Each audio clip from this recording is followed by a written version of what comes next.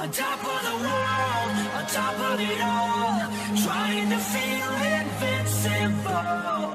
Yeah, yeah.